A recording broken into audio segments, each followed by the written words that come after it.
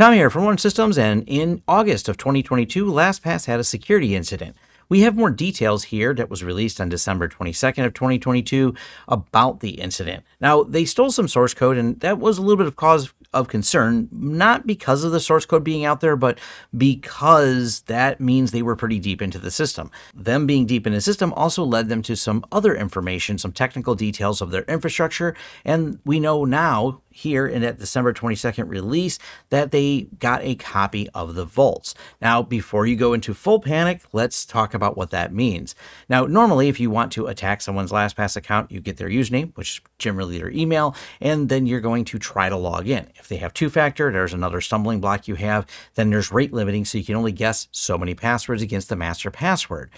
But what if you remove the rate limiting and the two factor? Well, that's what happens when you have the vault. So if I have that encrypted blob, then we have the ability to just try dictionary attacks. Dictionary attacks are the use of common passwords or commonly used words. And unfortunately, some people may not have a strong master password. Now, if you do have a strong master password with some non-common words and maybe some exclamation points and lots of other different, you know, pound signs and all the different characters, now you've increased the complexity and lessened the likelihood that someone will be able to crack that password. And because, as I said, the encryption they didn't the use is quite good, that means they didn't get much in terms of that vault. So you're protected under those circumstances. That's something to consider there. Now, what else did they get? They did get a few other things, and the threat actor was able to copy names, end user names, billing addresses, email addresses, telephone numbers, IP addresses, right, which you access LastPass service. Now, all this information, of course, is important for billing, so obviously you can't really encrypt the billing information. I wouldn't really understand how to send you the bill.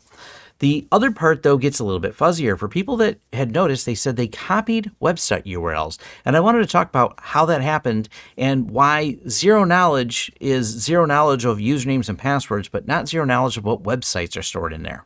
And for that, we're going to reference this write-up that was from actually January 18th of 2017. LastPass does not encrypt everything in your vault. We scroll down here, and this was a security researcher who said, hey, this is interesting. Uh, they did a redesign in 2017. They got these fancy icons in there, but how are they figuring out what icons belong in there? What's the method they use? And, you know, you can hit that crazy hacker button, F12. And F12, you can go through, and I have a video linked down below to see what data is actually sent to Password Manager. So I've covered how to do this in more detail. Um, but the bad news is for LastPass specifically, is they're storing the URL as just a unencrypted hexadecimal. Now, the hexadecimal is easily reversed, and they pointed out that that's the accounts.google.com service login.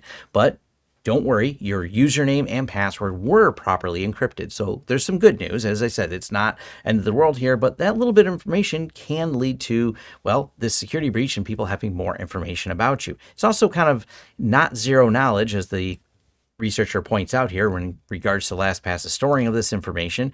Uh, they also bring up the privacy concerns of LastPass having the information of each website that you are storing in there. Even if they don't know username and password, they now have more information at well, could be sold or, like I said, become a privacy concern. And of course, this is the worst part of it is if you're using something that uses HTTP basic auth, username and password might be stored in there. And one more thing that's even worse is a reset token could be stored in there. And I know reset tokens should be short lasted, you know, lasting maybe 24 hours, but that is on a well built security conscious website. Not all websites are well built or security conscious, so if that URL contained a password reset methodology token that was static because, well, some company decided that would be the way they would put their website together, now you have that potential to pull that data out because URLs were taken and well, create a security concern.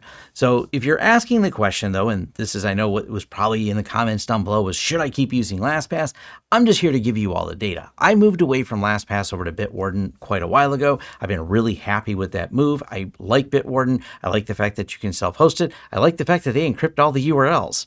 And uh, I don't have a problem with it. So I moved a number of years ago. I'm still happy with that move here in 2022 going into 2023.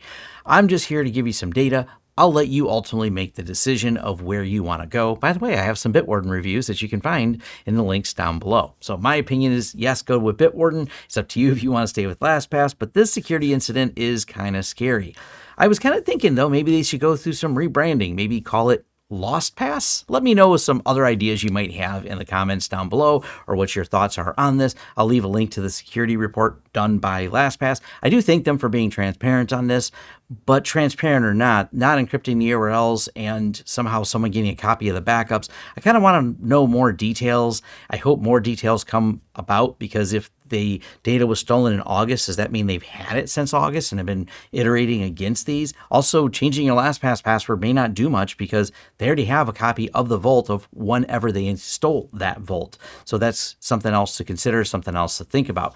Anyways, leave your thoughts and comments down below or head over to my forums for a more in-depth discussion.